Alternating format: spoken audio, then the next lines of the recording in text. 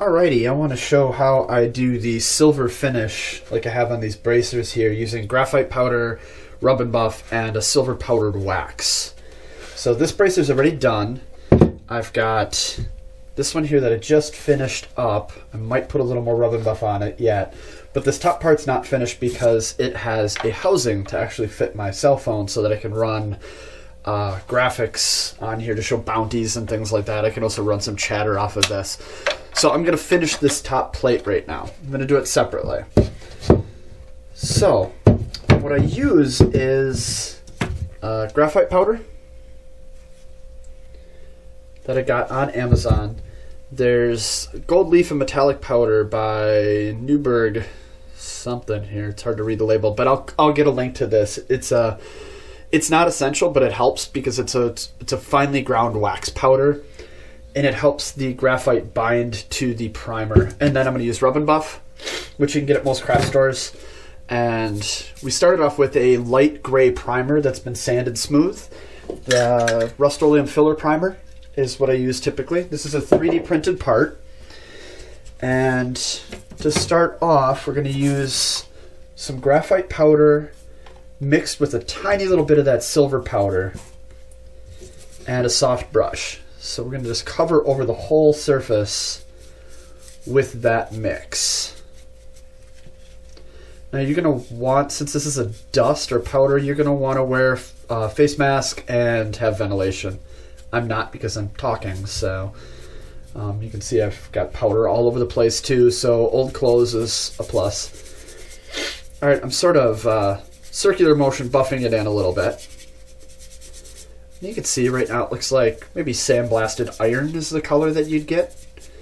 And there might be applications where that's all you, you want. It's not grabbing a paper towel and just wadding it up here. You need to use a good amount of pressure when you buff it. You're gonna just start start buffing it. You want to make sure the part that you're buffing is strong enough to handle the amount of pressure you need too. So reinforce everything. And the first step here is just to, to buff it all smooth. It'll it'll have a nice sheen to it. And basically just laying an undercoat for that uh, rub and buff to go on.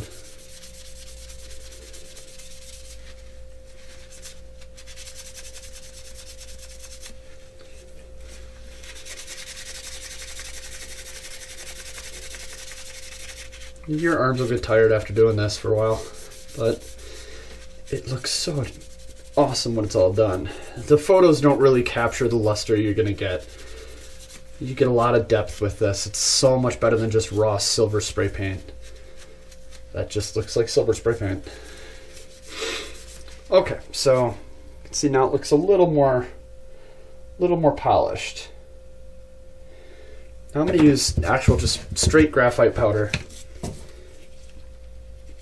and go over it again, pressing a little harder in a circular motion. The graphite powder is a little darker, but a little more steely. And again, buffing.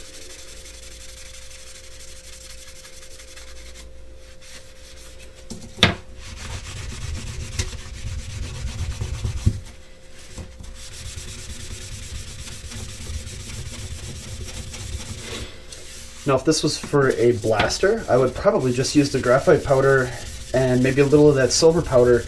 It looks like uh, gunmetal.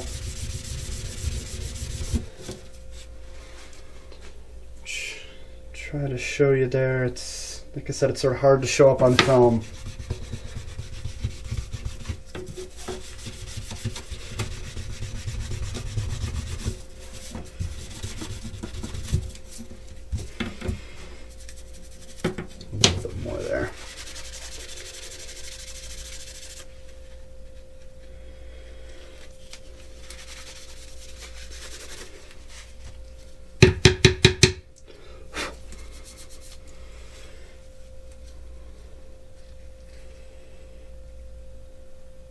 There you go.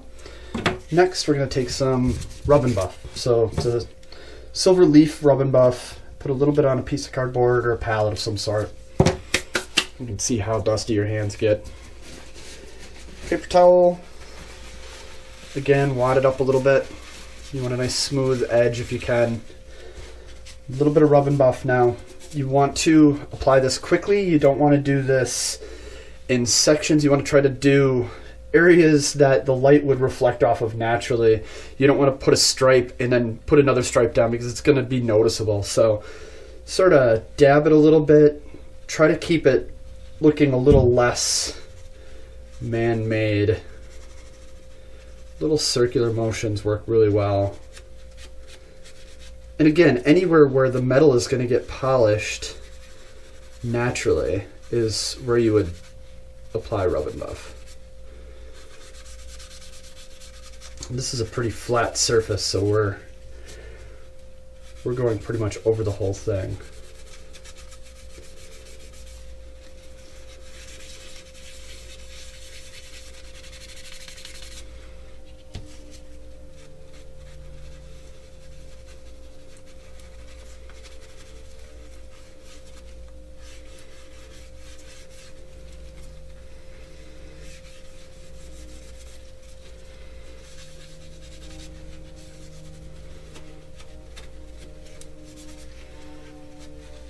Okay.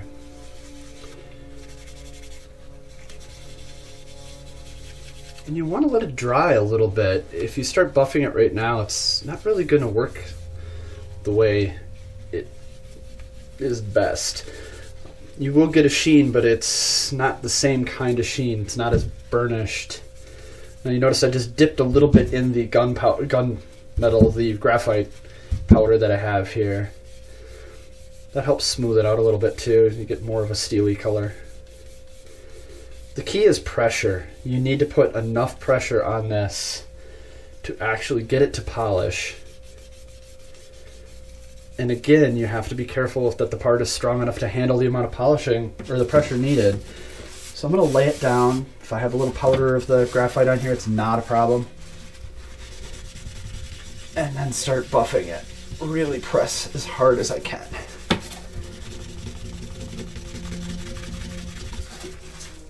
Have to be careful sometimes that you're not taking the base color paint off also. So there's a little bit of a balancing act there.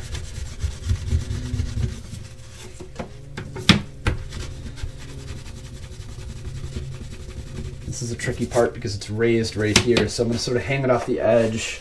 Apologies if my head gets in the way.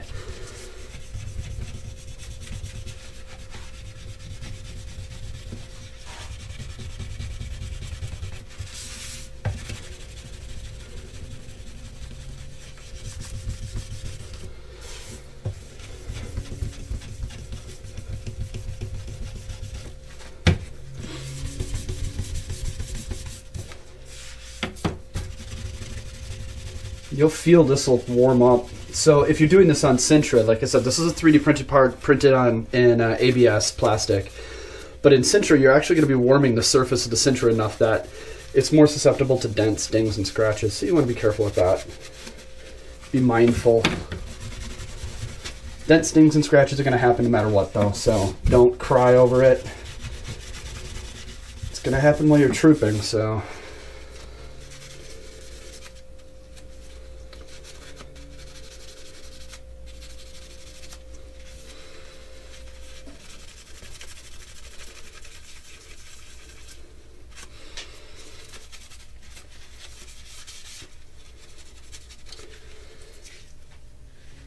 Okay, so it's not going to show up super great on the camera, but you can see the silver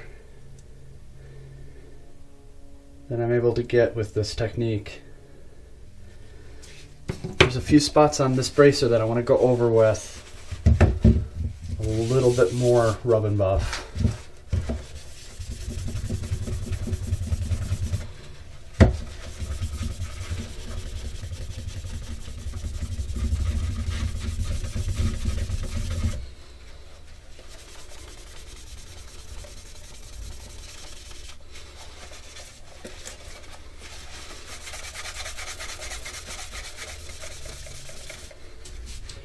The shine's only going to be good as your surface too. So if your surface is rough and not sanded smooth, it's going to be rough and not sanded smooth. This isn't going to suddenly make something porous and rough look like polished metal. Take the time to sand it. Wet sanding works really well to get a nice sheen on things. Wet sanding with really fine sandpaper, just take your time. Put some music on and go to town because it's gonna be a while.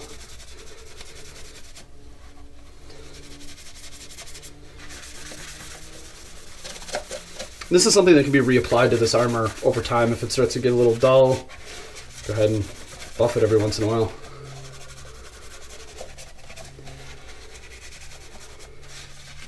All right, pretty happy with that. And then this part will pop on here. Screwed into position. There's a little spot there that's more visible than I thought it was going to be, so I'm going to add a little rub and buff to it. Polish it off. That's it. Ooh, a little bit on the side there too.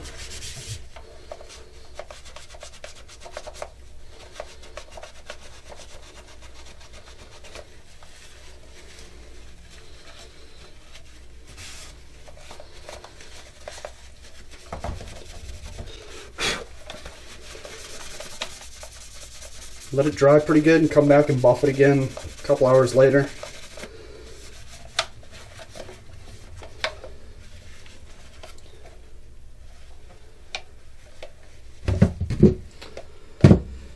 This is one that was done earlier this morning, but I'm going to go ahead and give this another once over also.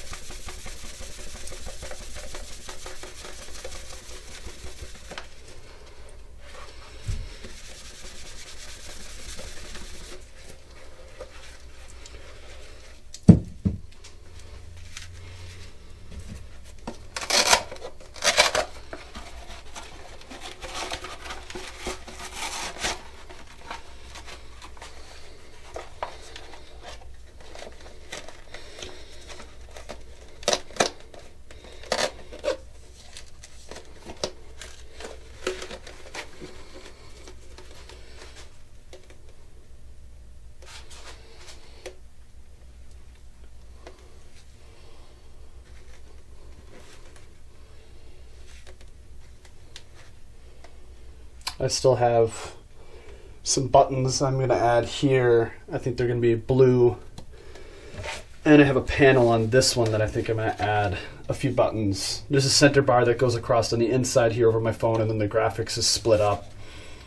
And I've got a hole built in here so that I can actually run a power cord to a battery pack that will go up in my backpack or backplate or wherever I can put it. Um, I used these parts were 3D printed here and uh, cast. Well, these are rigid here and here, and then this was cast in a flexible plastic with uh, nylon webbing embedded inside, and then Velcro. And then for the hinge, I used contact cement and leather. So there's a leather hinge on the inside, just contacted cemented into place, and then some foam rubber to help it fit my arm better. That's it. Those are the basics. These are actual aluminum tubes cut to fit inside this 3D printed part that I made. So otherwise it's all made out of Sintra. A few 3D printed parts right here, right here, right here, this, this, but everything else was scratch built. So that's what we got. If you have any questions, feel free to ask.